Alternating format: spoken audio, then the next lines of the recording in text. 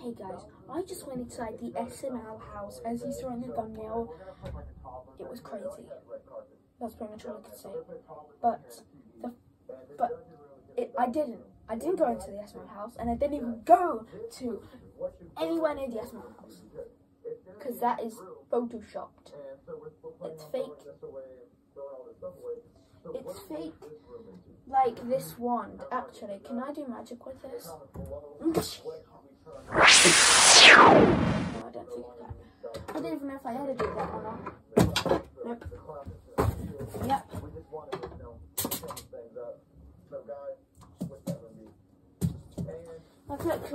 I can edit right now. I can edit myself sounding like a car.